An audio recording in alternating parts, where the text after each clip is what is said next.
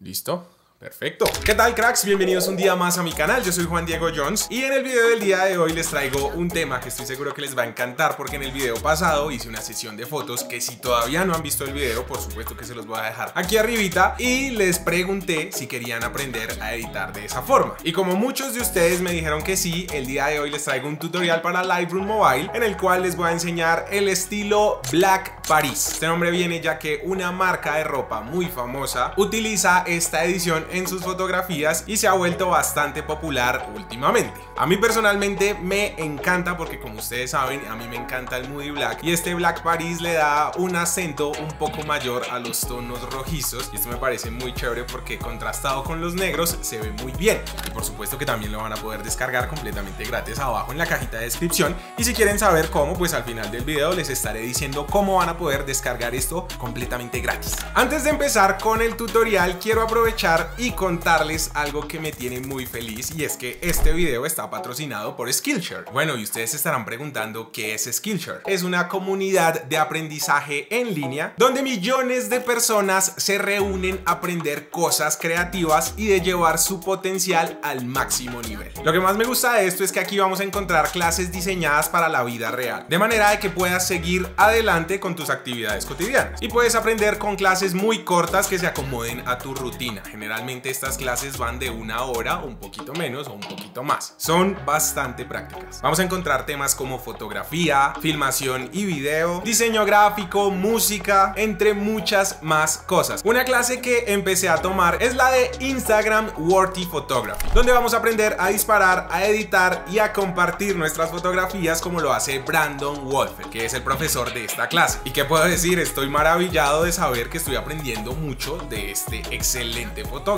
Ahora hablemos un poquito de los precios que maneja Skillshare, porque muchos de ustedes se los deben estar preguntando. Y es que esta plataforma es increíblemente asequible si la comparamos con clases presenciales, ya que podremos unirnos por tan solo 10 dólares mensuales. Y ahora quiero decirles otra cosita, y es que las primeras personas que le den clic aquí abajo al link que estaré dejando en la descripción, recibirán dos meses de prueba gratuita. Y por supuesto, una membresía de Skillshare Premium. Así que ya saben muchachos, aquí abajo está el link y ahora continuemos con este video. Comencemos.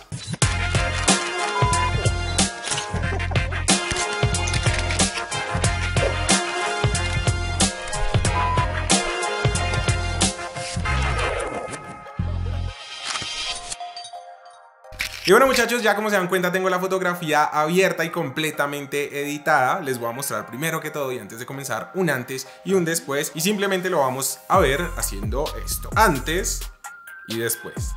Antes y después. Y como se dan cuenta, la fotografía cambia absurdamente, cambia mucho. Y ya para comenzar a editar la fotografía, lo primero que hacemos es que nos vamos aquí a los ajustes de iluminación, que son donde sale este solecito. Simplemente tocamos el solecito y vamos a poner lo siguiente. Una exposición de más 60 un contraste de más 13, puede ser, más 13, más 14. Esto siempre lo repito cada vez que hago este tipo de tutoriales y es que los valores no tienen que ser exactos. Se pueden desfasar unos cuantos numeritos para arriba o para abajo. De todas maneras el resultado va a ser similar. Y otra cosa es que muchas veces vamos a tener que devolvernos a algún ajuste que ya hayamos puesto para corregirlo cuando ya nuestra fotografía vaya teniendo tonos eh, como nosotros los queremos, que en este caso vienen siendo los tonos Black Paris, ¿verdad? Las iluminaciones la vamos a dejar en menos 75 las sombras en más 33.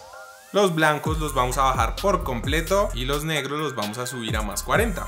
Perfecto. Lo siguiente que vamos a hacer es que nos dirigimos a la curva de tonos y para llegar a la curva de tonos simplemente vamos a tocar aquí en la parte de arribita donde dice curva y vamos a hacerla de la siguiente manera. Vamos a colocar dos puntos, uno acá y otro acá y vamos a bajar estos puntos por aquí y por aquí. Tiene que quedarnos una curva más o menos en esta dirección. Listo, ahí la corregí un poquito. Ahora sí le voy a dar hecho. Lo siguiente que vamos a hacer es que vamos a empezar a desaturar los colores verdes y todos los tonos para que ya la fotografía empiece a tomar estos tonos negros que tanto nos gustan. Y simplemente vamos a hacer lo siguiente. Nos dirigimos a la opción de color que está abajo del solecito, que es como un termómetro. Simplemente la tocamos y ahora nos vamos a donde dice mezcla en la parte de arriba. Así que tocamos ahí y ya, como se dan cuenta, vamos a tener una previsualización de todos los colores donde vamos a poder manejar el tono, la saturación y la luminancia de cada uno de los colores por separado. Así que para empezar vámonos con el tono rojo, que es el primero que está ahí, con el color rojo. Así que lo tocamos y vamos a poner los siguientes valores. En saturación la vamos a dejar en más 27 y en luminancia la vamos a bajar a menos 10. Nos vamos al siguiente color que es el color naranja, donde en tono lo vamos a dejar en menos 10, la saturación la vamos a dejar en más 54, me quedo en más 55 y la luminancia en más 62.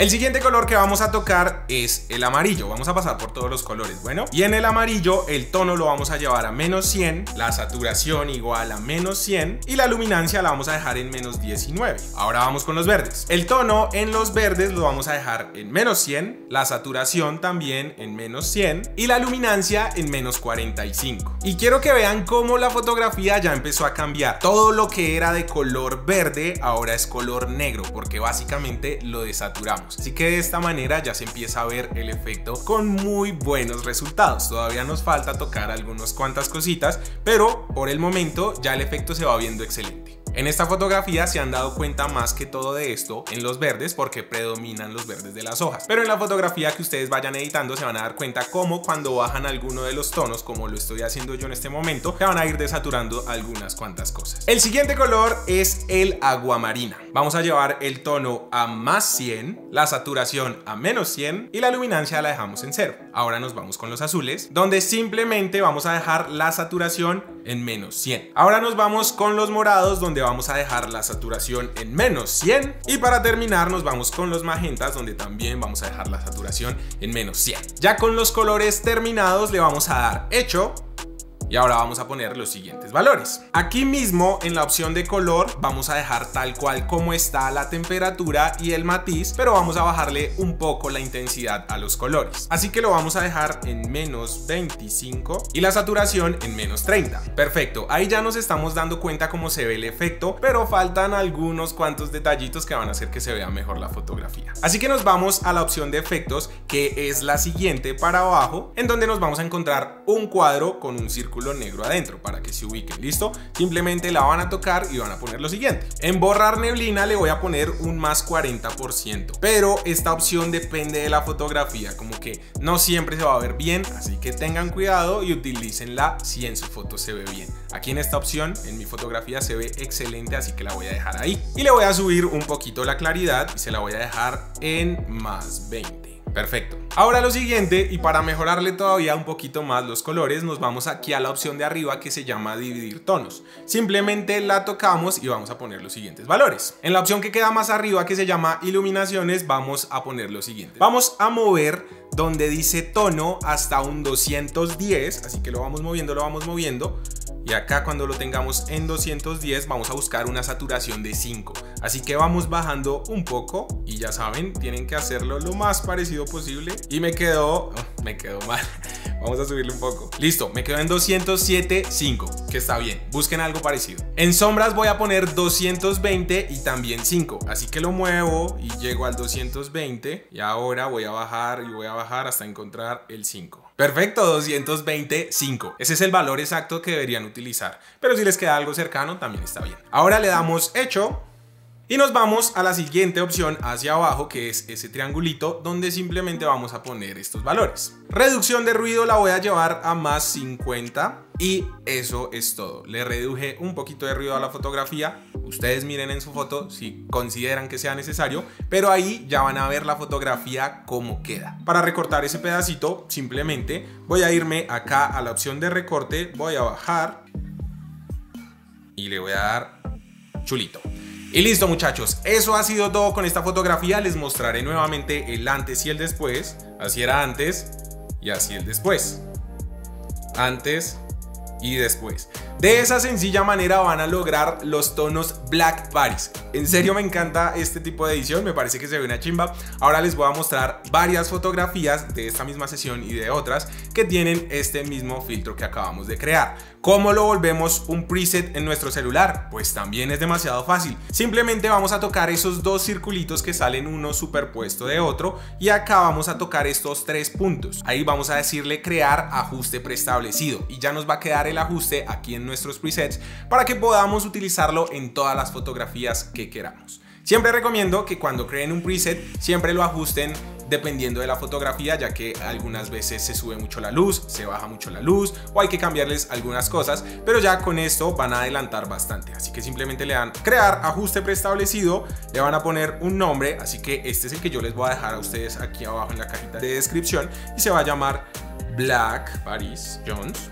este se los voy a dejar como DNG, ¿no? Con la fotografía que están viendo. Pero ahí les estoy mostrando cómo se crea. Le damos chulito y ya quedó. Ahora se lo vamos a poder poner a todas las fotografías que queramos. Así que les voy a mostrar el antes y el después de varias de estas fotografías ya con el efecto puesto. Listo, quiero que vean esta fotografía para que se den cuenta cómo va a cambiar de áspero. Entonces ya saben, se van acá, Black, Paris Jones y Tatán, así de fácil. ¿Podemos hacerle algunos cuantos ajustes? Claro que sí, pero bueno, les voy a ir mostrando el antes y el después. Antes y después. Ahora miremos otra. Esta foto me parece severa, creo que tiene un aspecto bien cinematográfico, así que vamos a ponerle el preset y qué tal eso. Siento que está un poquito oscura, así que la podemos editar, ya saben, se van nuevamente, van mirando todos los ajustes, aquí la voy a aclarar un poquito y ya está, ahí quedaría. Ahora sí les mostraré el antes y el después de otras cuantas fotografías, espero que les haya gustado porque a mí me parece que es un efecto una chimba. No olviden etiquetarme en las fotografías que suban con este preset en Instagram que les estará saliendo por aquí abajo en algún lado mi Instagram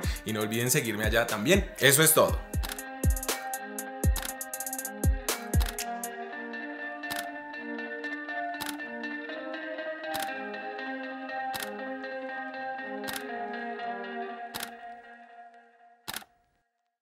Y bueno amigos, eso ha sido todo por hoy, espero que les haya gustado mucho este video, si se quedaron aquí para saber cómo es que van a descargar este archivo DNG completamente gratis, pues perfecto, les voy a dar las instrucciones muy detalladas y muy claras para que no estén dejando en la cajita de comentarios como Juan Diego, no sé cómo descargar esto, no, no, acá se los voy a decir todo. Así que lo único que van a hacer es que se van al link que estaré dejando aquí abajo donde dice descargar archivo completamente gratis y eso los va a direccionar a la página de Gumroad, que es donde yo tengo todos mis productos digitales. Van a encontrar todos mis presets de pago, todos mis presets gratis, todos mis archivos DNG para que puedan editar sus fotografías. Que a propósito, si les gustan y si quieren tener esos acabados profesionales en sus fotografías, les recomiendo los de pago. En serio, no es por venderles, sino que en serio son muy buenos. Pero también tienen todos los que son completamente gratis, que también son excelentes. Así que van a hacer lo siguiente. Van a ir aquí donde dice pagar y simplemente van a poner 0 dólares. O también si quieren aportar pueden poner la cantidad de dinero que ustedes quieran. Después de eso le dan OK, van a poner su correo electrónico, van a confirmar y automáticamente se iniciará la descarga en su computador o en su celular. Ya después de esto simplemente abren Lightroom, copian este archivo resultante en sus archivos importados, van a coger todos los ajustes, los van a copiar y después los pegan en las fotografías. Así de fácil. Y eso es todo muchachos, de esta manera van a poder utilizar este preset en todas sus fotografías y no olviden etiquetarme en las que suban en Instagram, en mi Instagram que estará apareciendo por aquí en estos momentos. También pueden utilizar mi hashtag que es JonesPH. No siendo más, nos vemos la próxima semana. Chao cracks. Chao. Corta.